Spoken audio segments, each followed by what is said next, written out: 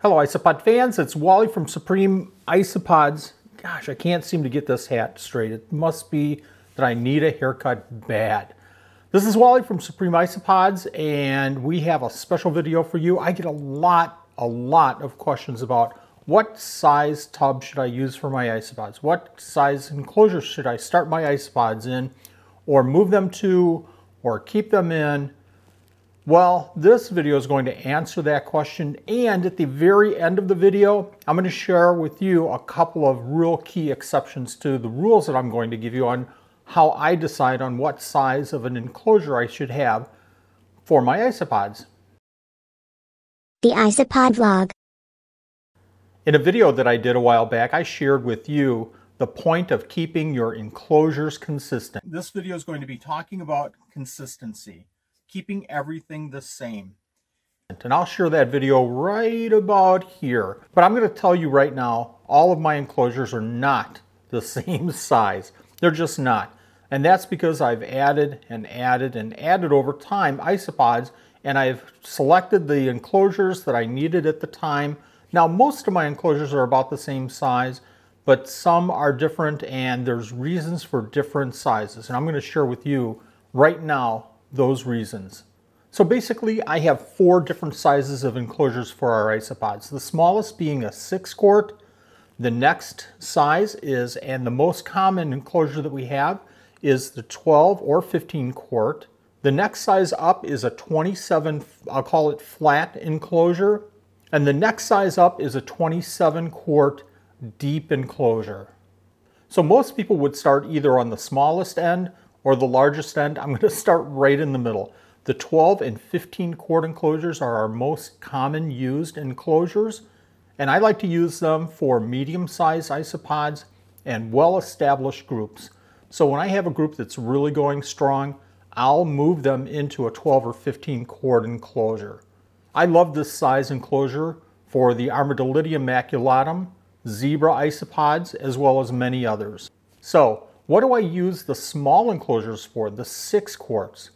Well, I use these for, number one, small isopods. Those small isopods include Nabia capensis, the party mix isopod, Venezillo parvus, which is a really, really beautiful isopod, but they're super small. I like a six quart for the Cubaris murina, the roly-poly isopod, and okay, maybe you want to consider something a little bit different with them, but we keep them in six quarts.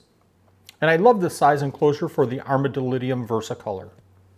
The second reason that I use these small six quart enclosures is for a new isopod setup. So if I'm starting a new isopod, I'll set them up in a six quart just so I can manage that group a little bit better.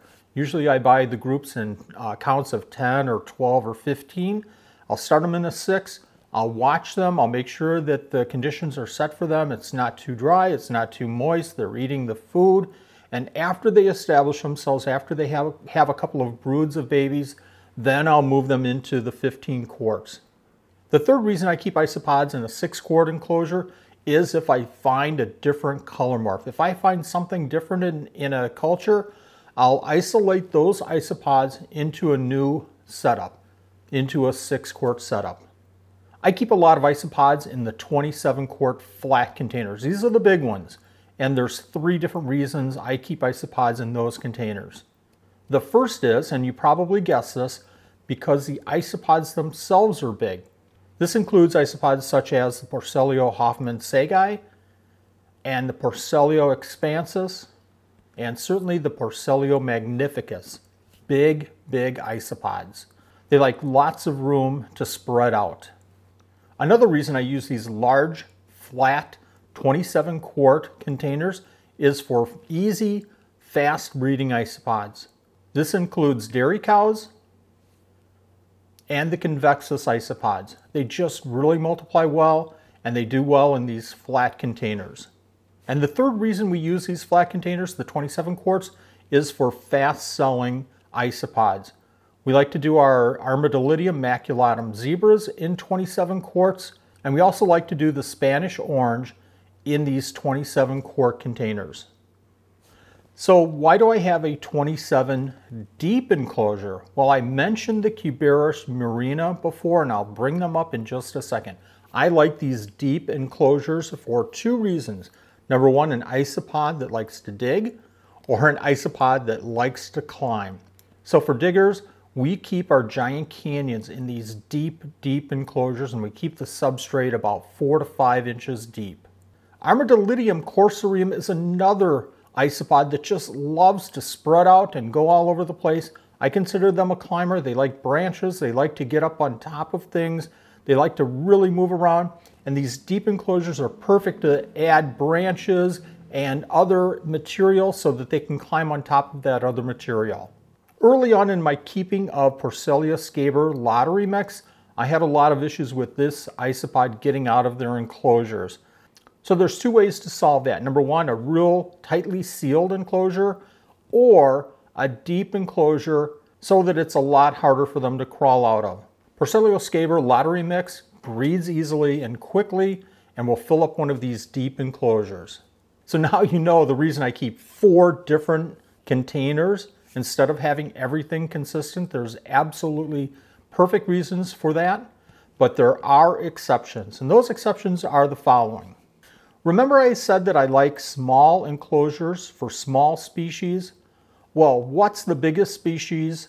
Well, that's Hoffmannseggi, Porcellio Hoffmannseggi. Why in the world would I keep them in a six quart? Well, the answer is easy. Earlier this year, I took groups of Hoffmannseggi, two males and four females, and put them into six quart containers. I did this so the females had plenty of space to spread out and raise their young. This is a species that loves to nurture their, their young baby isopods and they like a lot of space and that six quart allowed me to keep those females separate. It was just a perfect, perfect setup. I had mentioned earlier that I have those 27 flats for fast breeding isopods such as the dairy cows. Well, some isopods breed way too fast even for those enclosures. My Florida Fast will fill up a 27 quart within just a few months. It's just crazy.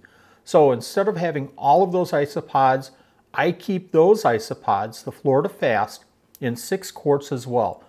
When I get too many Florida Fasts in that six quart, I'll take some and I'll feed them out to our geckos. We actually have four containers right now for that purpose.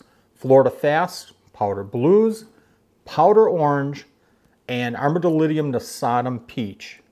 Another exception to the rule, I mentioned earlier that we keep Armadillidium maculatum zebra isopods and Armadillidium klugii Montenegro clown isopods in 15 quart containers, and I love those in, uh, containers for them, but I also keep those two species in six quarts as well. And I keep them in six quarts as those are my selling tubs rather than bothering the isopods in the 15 quarts. It just works out so much easier for me to pull from the 6 quarts than bother the, the uh, isopods in the 15 quarts. Now one size enclosure that I didn't mention in this whole video is a big clear enclosure.